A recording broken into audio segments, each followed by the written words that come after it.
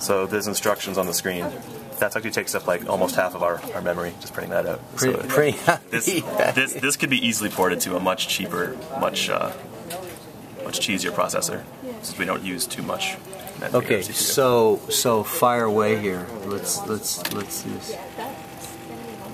Okay, and the scope is showing the output of the flex sensor. But right now I we, like we aren't actually logging the data. Well that's quite a distinct motion, isn't it? Yeah, And so that's getting the segment positions.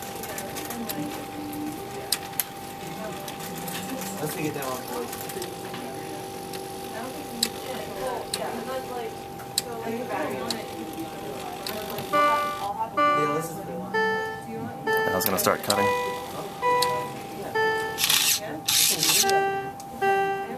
And if you look over here, the rapid gyration of the motor sometimes knocks the case slightly. Yeah. So it thinks it's unsafe, so it halts, the, it stops moving the motors, it Oh, stops moving the well that's good to know. So you have to hit the resume button before you keep going.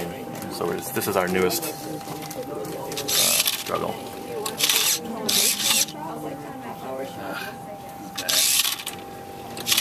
But it's three for three so far on the edges. But it's four. Definitely put the metric back on. Wow. So th- this pausing is just the safety.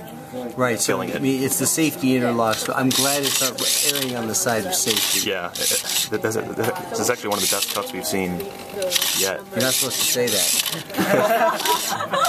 You're supposed to say this is typical of The, our uh, best the. I think number four on the IEEE ethics page would, would disagree. Honesty, yeah. Yeah. Done. And it's done. And then the LEDs on this side will do a little dance.